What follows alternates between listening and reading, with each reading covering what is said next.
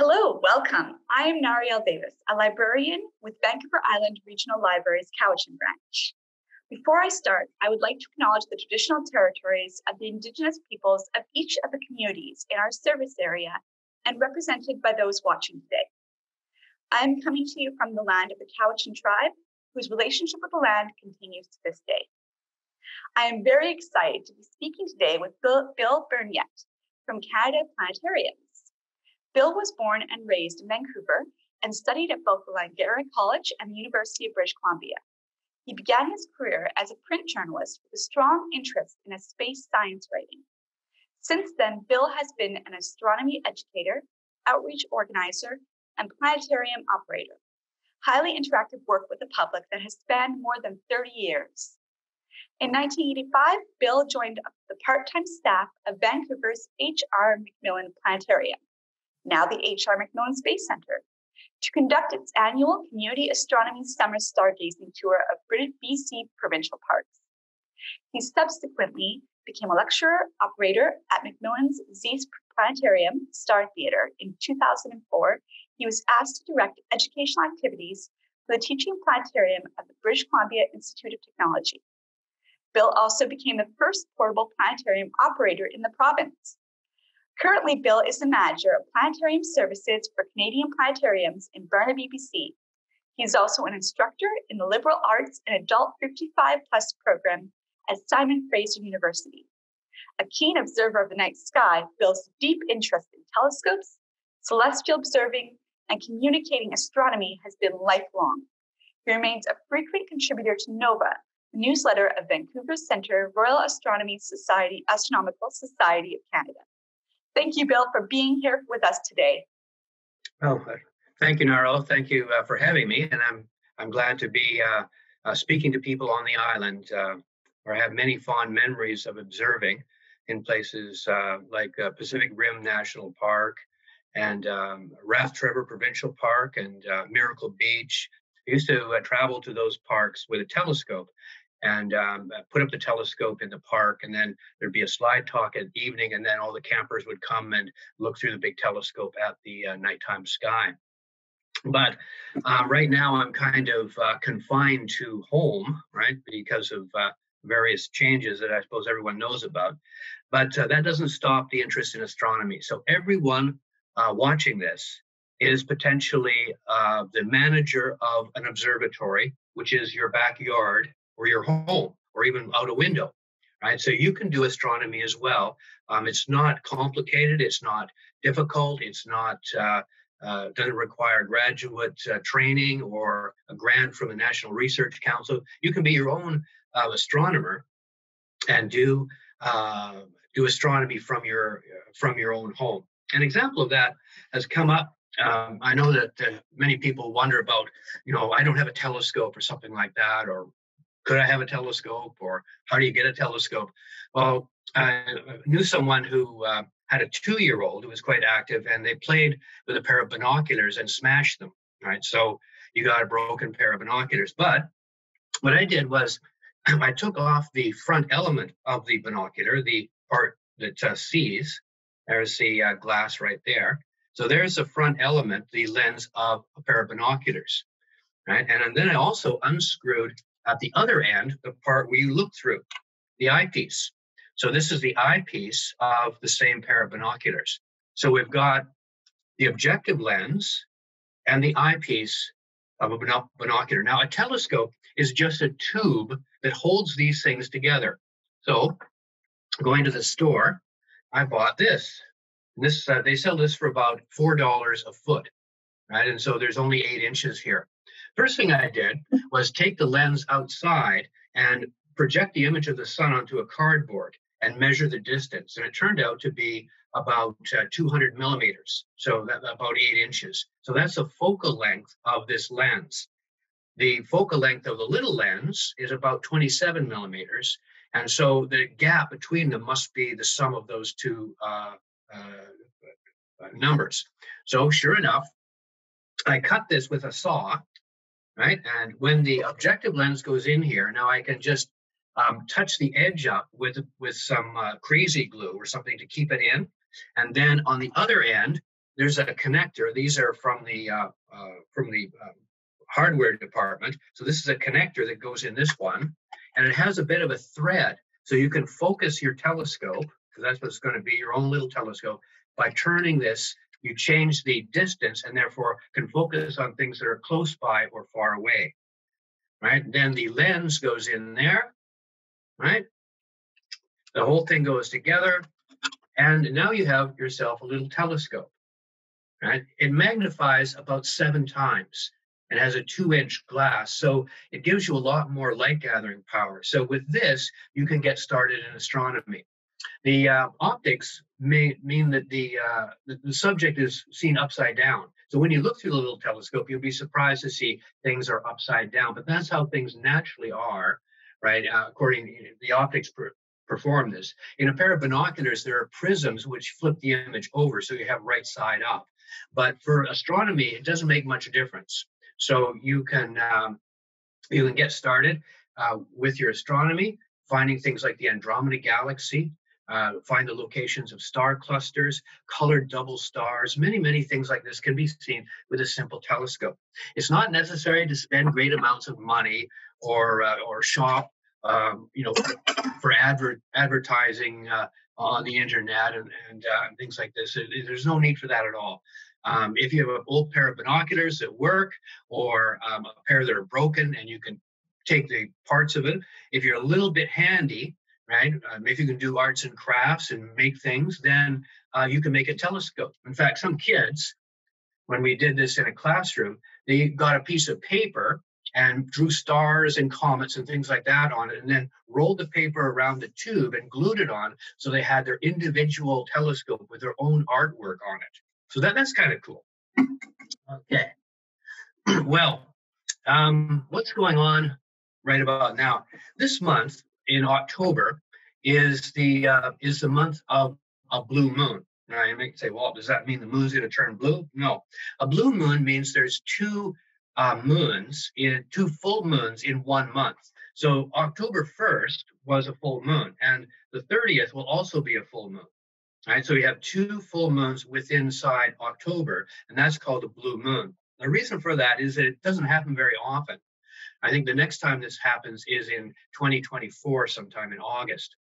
But um, it's a rare event, and the rare event um, happens simply because the months are slightly longer than the period between two full moons. So sometimes you can crowd two full moons into the same month, and this is what is meant by a blue moon.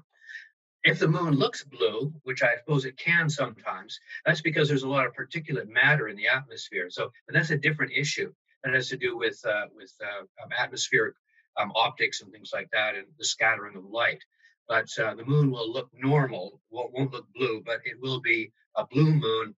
Uh, that's just a label for it, a name. So, um, you know, the moon is kind of interesting. I sometimes look at it with my little telescope, or the one behind me, which is uh, just in the field of view, I believe. There's a there's a telescope there behind me, so I take this out and look at the moon, and um, the full moon is very very bright, but it's not often uh, appreciated that the half moon is not half as bright as the full moon. It's a it's about a tenth as bright. So even though half the moon is showing, it's only about ten percent as bright as the full moon. And why is that? Well, if the moon, I've got my, uh, I've got, if the moon was like this, this is a ping pong ball. If the moon was like a ping pong ball, then when it was half, you'd see half as much light. But that's not the case. In fact, it's only about 10%. So the moon is not like a ping pong ball.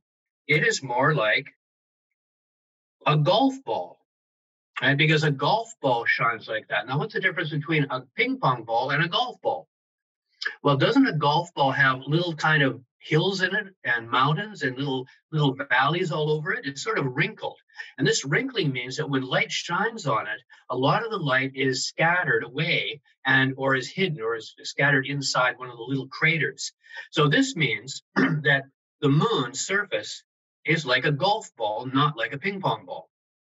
And we could tell this even if for some reason it were impossible to look at the moon's surface in a telescope and see what it's like. So just the way that it, the moon reflects light, right, indicates its surface is wrinkly and hilly with valleys and uh, and discrepancies and all over the place. It's not flat like a ping pong ball. now, sometimes astronomers uh, look at objects that are very far away, like asteroids or uh, or bodies that are very, very far away. And in a telescope, they still look just like a tiny dot. Right? So you can't see their surface like the moon. But if they scatter light in certain ways, it tells the astronomers what the surface is like. So this same uh, motif is applied to very distant objects and allows us to find out where, uh, you know, what the surface of these bodies are like. So this was used to find out surface conditions on comets and asteroids, including uh, bodies that have been visited by uh, spacecraft like the uh, uh, OSIRIS REx spacecraft, which is uh, currently right above a little asteroid. Now, the asteroid looks like a, a, dot in a telescope, but a great deal of information was known about it before the spacecraft arrived, based on scattering of light and other things like that. So we find out things about these bodies before we go there. And uh, so, sometimes there are surprises, but oftentimes uh, we have a good understanding of what's going to what's going to be found when the spacecraft finally arrives. Well, speaking of the moon, there's going to be um, a lunar eclipse on uh, November 30th. So that's coming up uh, about a month from now. The lunar eclipse is when the moon, let's um, get the moon and the earth here. Okay, here's the moon and here's the earth. Now, what happens is the earth, does that look like the earth? I'm probably upside down. But anyway, there's the earth there. And we're on the earth, right? I don't think anyone will disagree with that. Even the flat earth people won't disagree with it. We're on the earth, okay? okay, so there's the earth right there. Now, the earth um, has a big shadow that comes out from it. That shadow is shaped like an ice cream cone. At the opposite end of the shadow, way far away, is the sun. So this ice cream cone shaped shadow, more than a million kilometers long, goes out behind the Earth. And in a lunar eclipse, the moon moves into that when it's full and is uh, temporarily darkened. So the moon will look reddish or dark brown or some, some such uh, color like that. So this happens when the moon moves in. It happens about twice a year, and November 30th will be the next time. So what you'll see on the 30th and um, it's a good a good idea to get I'm sort of used to what the moon looks like now. So where you are from your own home, go outside, and uh, when it's nice and clear, hopefully tonight, um, turn and look towards the east. When the sun goes down in the west, the full moon comes up in the east, and get used to sort of what it looks like and how bright it is. Then, um, a month from now, about the 30th, the same thing will happen, but the moon will look darkened um, probably after 11 or 12 o'clock at night. So this is a sort of an early morning uh, eclipse. So when the moon is high in the sky, it will look funny.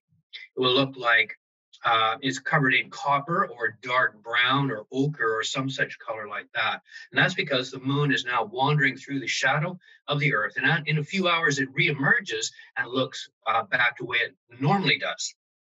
Now, if you take a, a, curved object like the, the lid of a, a jam jar and hold it up over the moon and try to try to find the curve, try to copy the curve of the shadow of the earth, you'll find the shadow of the earth is a circle against the moon, but it's bigger than the moon because the moon is much smaller than the earth. So this ice cream cone shaped shadow propagates out into space, and you can see its shadow on the Earth as a sort of a curve, a portion of a circle. This means that the Earth must be round. Again, the, the flat Earth people are over on me all the time, or got hate mail and all that. Oh boy! And uh, what happens is the Earth must be round like a ball because a round ball is the only shape that can cast a ice cream cone shaped shadow like a cone. Right, so no other shape will do that. Therefore, in early times, um, even in the times of the ancient Greeks, it was understood that the earth was round like a ball. It's just that no one really understood how big the ball was. There were a few measurements of it, and some of these were quite accurate, but there were also inaccurate measurements, and also a problem uh, in the uh, in the unit used, a stadia, was is an ancient uh, unit, but there were two different types of stadia, a long one and a short one.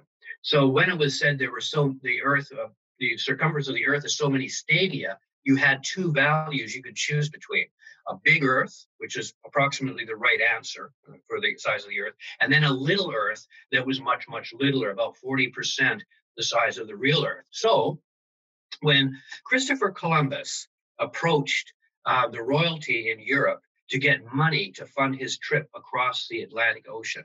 He decided it would seem better if he chose the smaller Earth to sell his idea, because then it didn't seem to be so far uh, between Europe and Asia, right? Just a little ways, not very far. About, in fact, he, he calculated about 3,000 miles to from Europe to uh, Japan. The, the, actual distance is like 13,000 miles, so a little bit out there, right? So, but Christopher Columbus chose the littler Earth, got his funding, sailed the ships across the Atlantic, and when he got to the West Indies, he assumed he was off the coast of Japan, which he found the mainland of Japan was the island of Hispaniola with the, the modern nation of Haiti. So when he was there, he was convinced he was on the uh, Japanese mainland.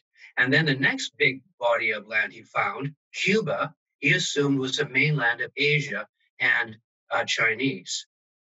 Well, so, but he met a, um, a local there, a, a, a, uh, a local inhabitant on Cuba, and this person told them that he believed he lived on an island, although a large island.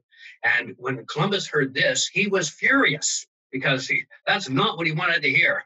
And so he uh, got all his officers of his ships together and he made them swear a solemn oath that when we get back to Spain, everyone will say we have been on the mainland of Asia and not in some other weird place.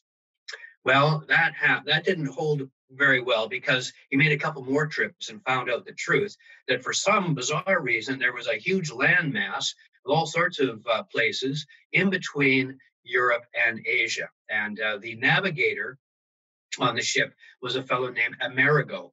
And so these he named these uh, uh, these places America. Right. So that's how that there. It's as simple as that. Well, so you see a little measurement, a little bit of confusion has um, quite great consequences. And history seems to move like this a history of errors uh, adding up to the modern world we have today.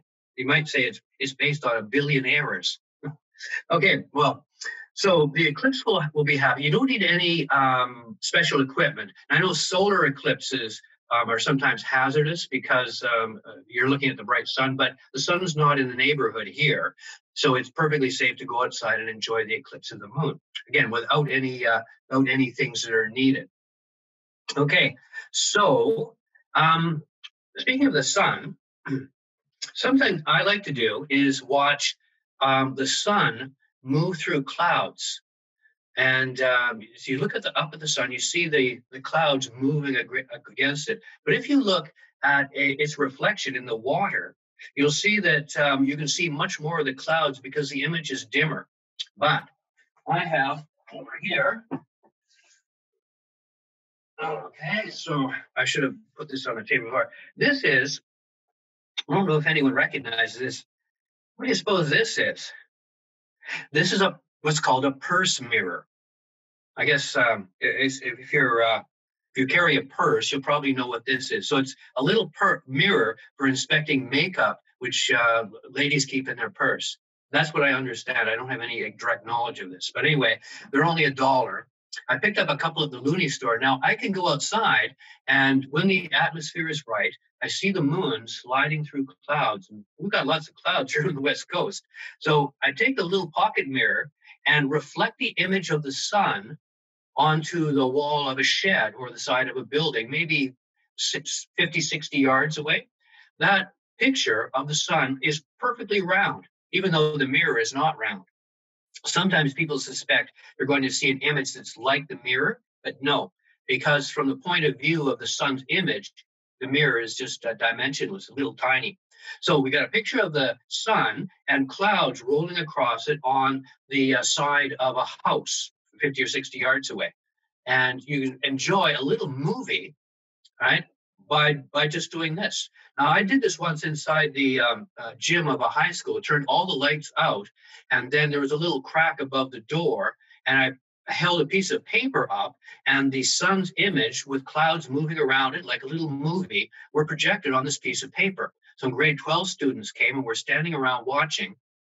Everyone assumed that I was holding a laptop and was showing a movie on a laptop. But then when it ended and someone turned on the lights of the gym, everyone was just astonished to see that I was holding a single sheet of paper and nothing more.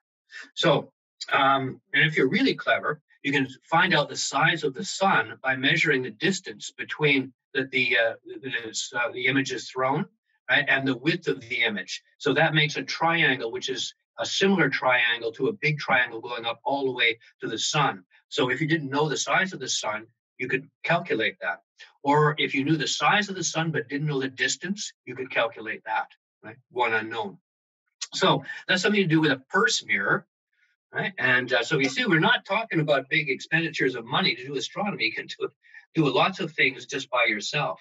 Well, another thing that's going to be coming up soon is um, there's going to be a conjunction of Jupiter and Saturn. And you might have heard something in the media about this. It's uh, what happens is Jupiter and Saturn go around and around the sky, and they're like cars on a racetrack going around and around. Jupiter is a fast car going around in 10 years. Saturn's slowpoke and goes around in about 30 years. So every 20 years, Jupiter catches up to Saturn and passes it.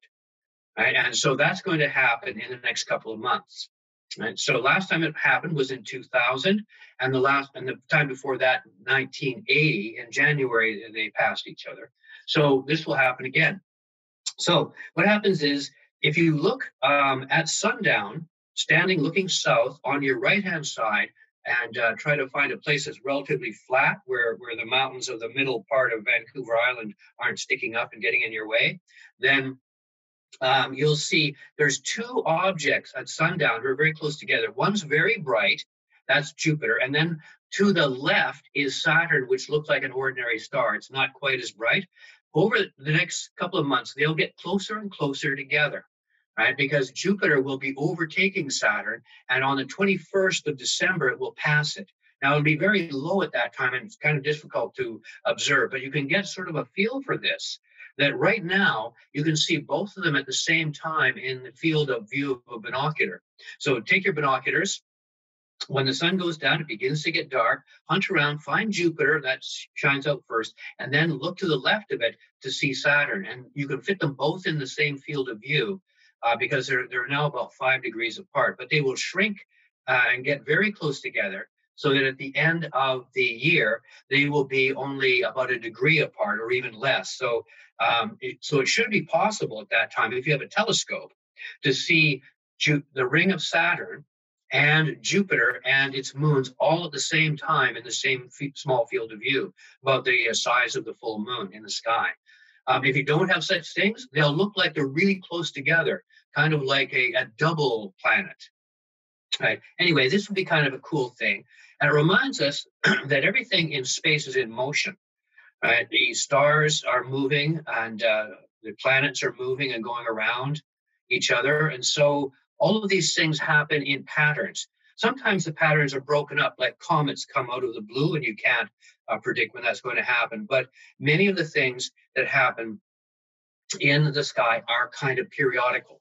The sky looks like a big ball. If we're standing outside, and I have a ball here, this is the this is called the celestial sphere, right? So it's just a ball, and on the ball is the, the surface of the sky where all the stars sit. And it looks like a ball and it turns around in one day. In the exact middle of that ball, if I take this, this apart, in the exact middle is the Earth. Sitting right in there. There's the Earth right in the middle. We are there. So we see the stars projected on a surface.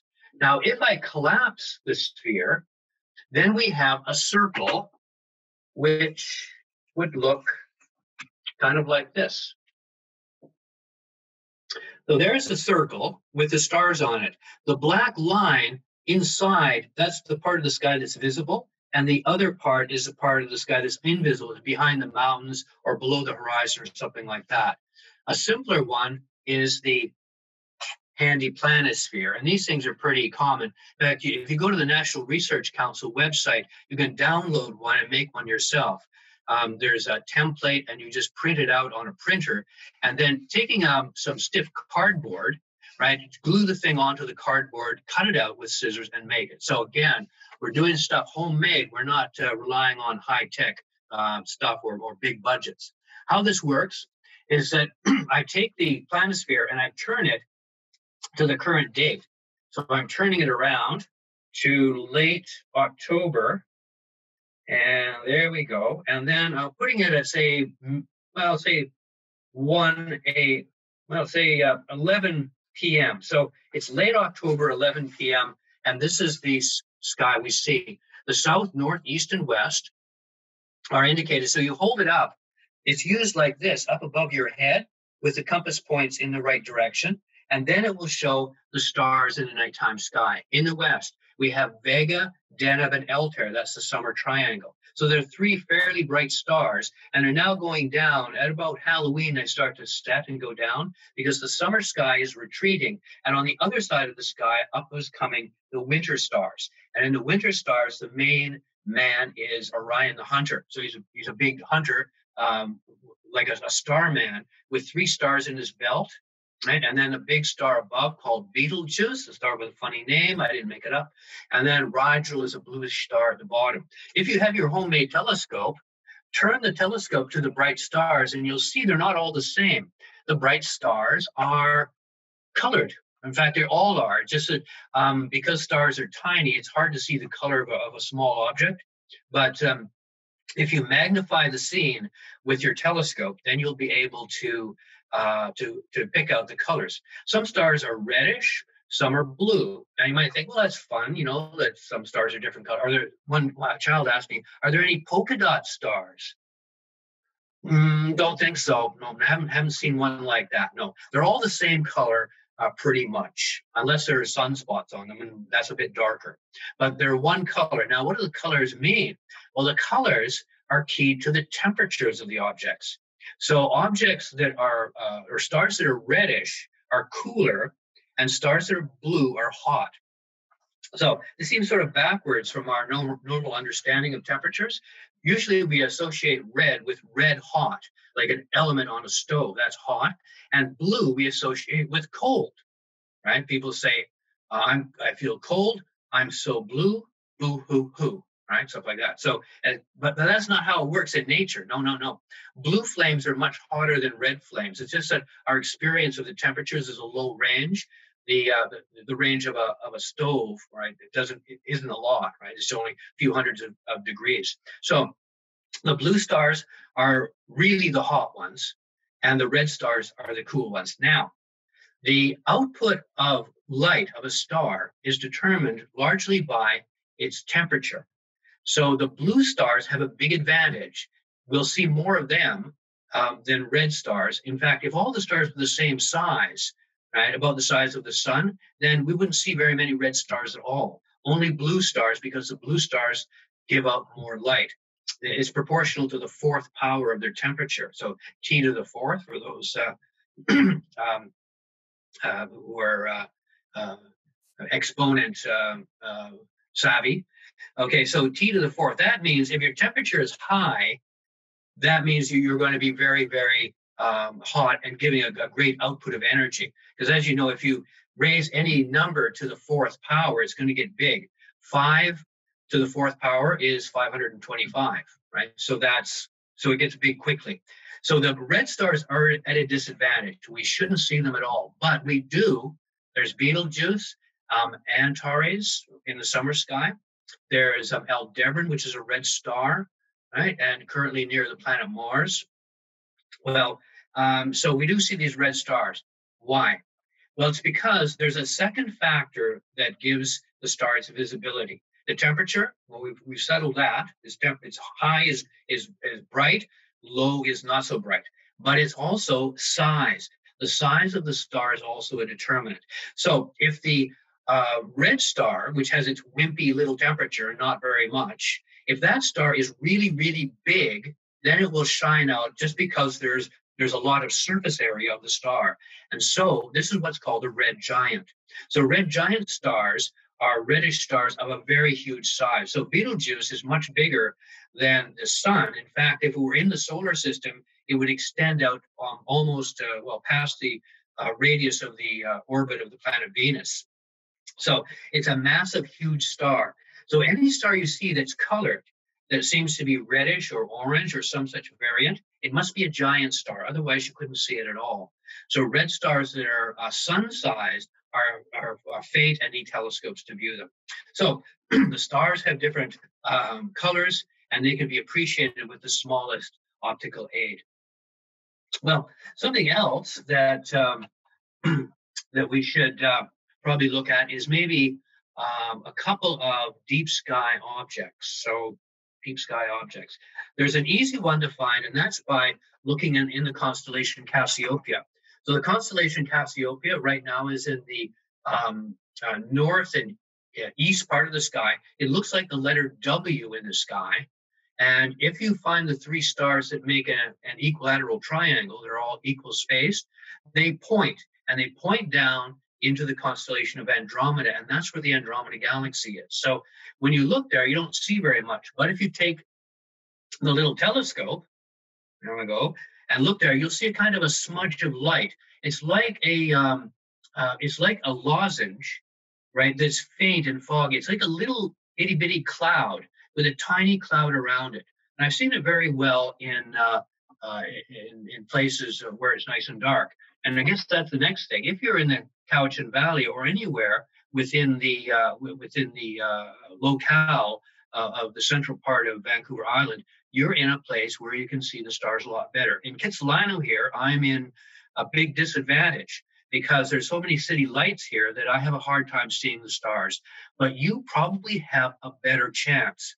If you go to the end of the block or to a nearby park or maybe just outside, um, you'll maybe be able to see a lot more stars than I can because it's not near huge urban areas. So that's a big advantage.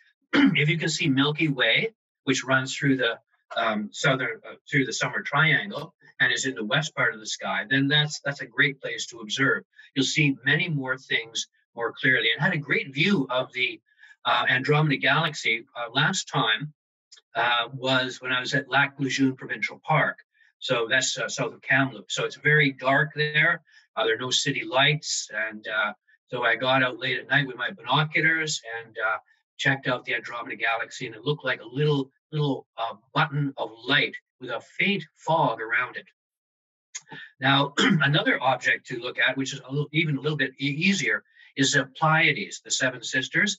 That's a little bucket of stars. It looks like a, a tiny collection of a dozen or so stars or in, in a good dark night, you can see 20 or 30 in binoculars. So that's a star cluster. And it's one of the nearest star clusters to us. So it, it looks big and uh, it doesn't need much optical aid. So binoculars are fine uh, for this object, even opera glasses. In fact, when I used to work at um, the MacMillan Space Center, I did uh, laser light shows. Remember the Pink Floyd laser light shows? I don't know if anyone so, you know, maybe if people had a, a, misspent youth, maybe you saw a laser light show. I might have been the operator of that. Uh, but anyway, at uh, night, about midnight, we got our shift. So I would walk home and I would carry in my pocket a pair of opera glasses that only magnified about four times. They were tiny. And I wrapped them in a handkerchief, put them in my pocket, and I'd walk home. And then I'd stop and take a look at the Pleiades and see how many I could count. I usually count 15 or 20 of them just with the tiny opera glasses that are far, far smaller and less effective than a pair of uh, binoculars. If you have a pair of birders, uh, binoculars, or if you have a spotter scope that's used for birding, that makes a great handy little telescope. Turn it to its lowest power, not the highest power, Right? That gives the widest field of view and makes it easier to center and find objects. So um, that's that's a good thing to have. I, I know I've, visited a few places. um, like we have some friends in 150 Mile House. It's really dark up there, and they have a spotter scope to look at birds uh, at the pond nearby. And I asked them about that. I said, "Do you ever take it outside and look at the sky?" They said, "Oh no, no, never do that. Never do that." I thought, How could you not do that? Um, because it's just so dark out there. So take advantage of the fact that uh, urban areas are at some distance and, um, and check out some of these highlights. Now, you might say, well, Bill, you know, that's fine. I'm hearing this, but what about resources? Like, where can I go to get more, more stuff? Well, you know what? Guess what? The library. The library has books on astronomy, right? 520 is the call number in nonfiction of astronomy books. So there's probably planispheres. There may even be a globe of the Earth, of the stars in the library. So uh, your first uh, visit should be to your library to find out some more things about this. Pick up a book on the stars. Pick up a book on the planets. Right? Maybe an observer's book. Right?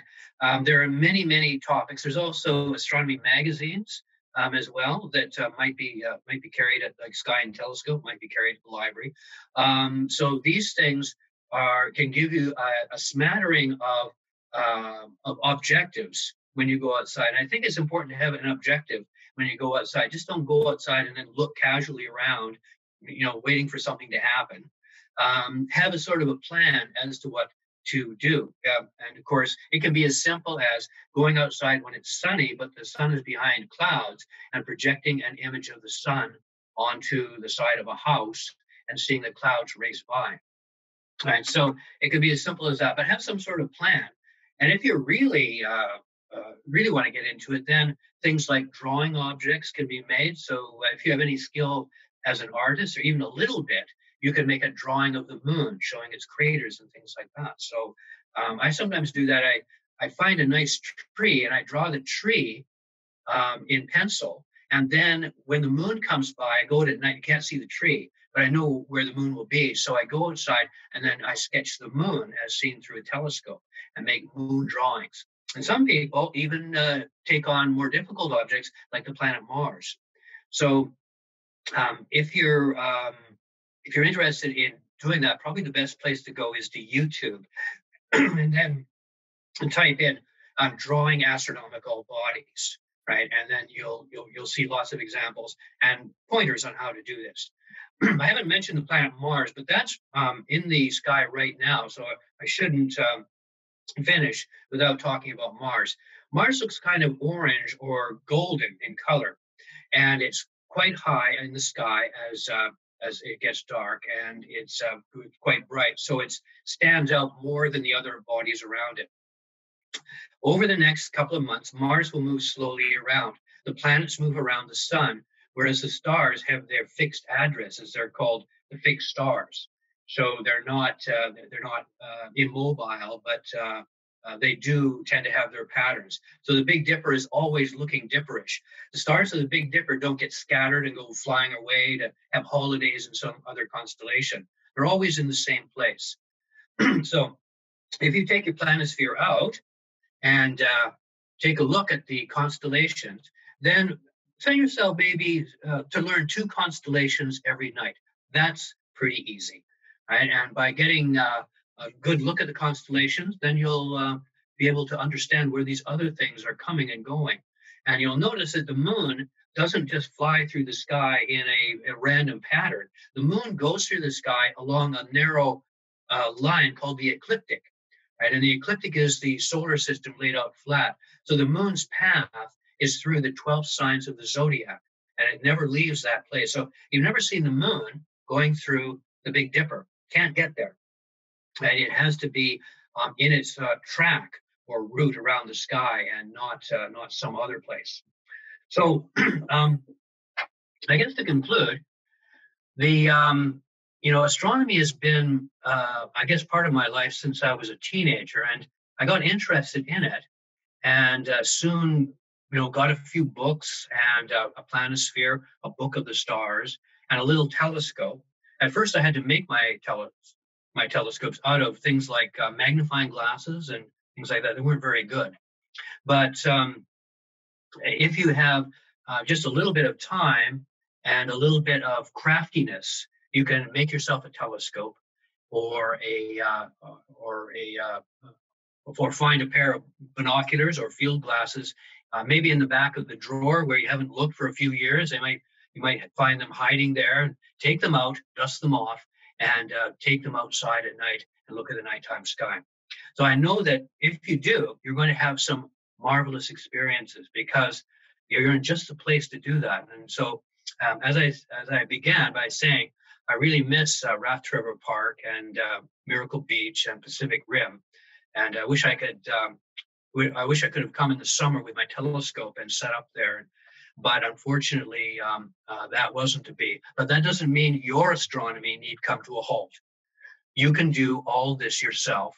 As I said, first trip, go to the library, find a little bit more, and then go outside and see what's up. Well, thanks very much for uh, for viewing this. And thank you for the library. And thank you, Bill. Thank you so much for joining us today.